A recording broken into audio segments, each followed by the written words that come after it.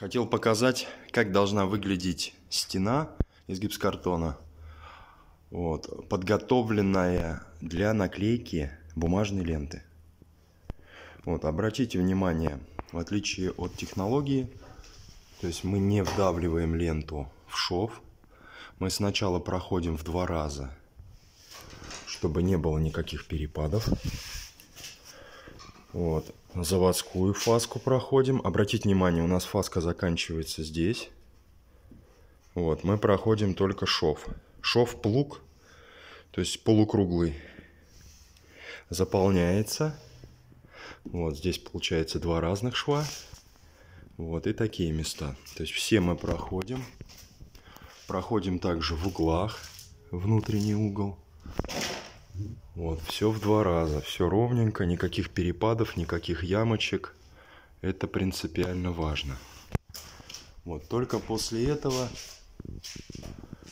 только после этого мы можем клеить бумажную ленту.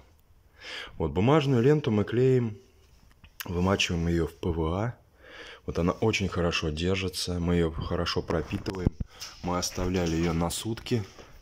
Сейчас покажу.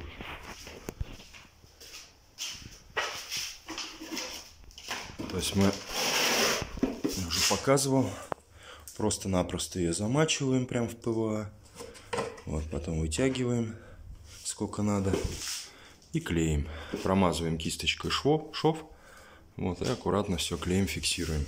Обязательно, когда клеим, закрываем окна, потому что лента бумажная, может раздуваться, может усыхать.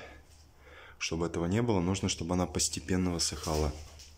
Вот, еще хочу обратить внимание, у нас здесь идет тройная перестраховка.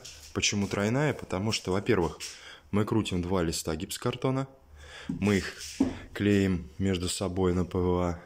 Это первое. То есть у нас в местах стыка идет сплошной картон. То есть у нас уже, если даже по этой технологии делать, уже по идее не должно быть трещин. Можно не армировать. Второе, мы клеим бумажную ленту то есть бумажная лента армирует шов. То есть тоже, когда бумажную ленту клеим, э, теоретически уже треснуть не должна. Вот. И третий вариант.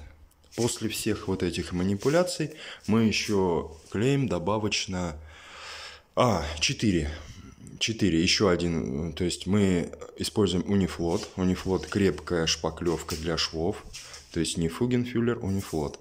И четвертый вариант. Мы потом все это разом заклеиваем стеклохолстом. То есть стеклохолст тоже держит трещины.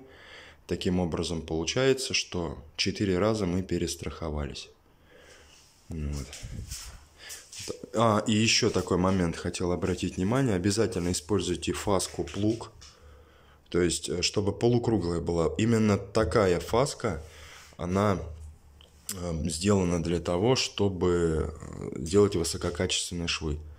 Вот, не ровная фаска, не косая фаска, а вот именно полукруглая такая. Вот. То есть это принципиально тоже для хорошего качества, чтобы швы были крепкими. Именно такая фаска. Вот, в принципе, все, что хотел. Еще раз хотел просто показать, как мы это делаем. Вот.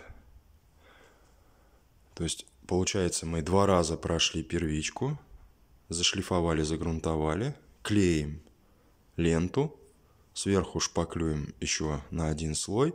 И только после этого, когда грунтуем, уже потом проходим всю стену а, на слой, на слой финишной шпаклевкой и подготавливаем стены для дальнейшего, для дальнейшей отделки. Вот, в принципе, все, что хотел показать. Спасибо всем за внимание.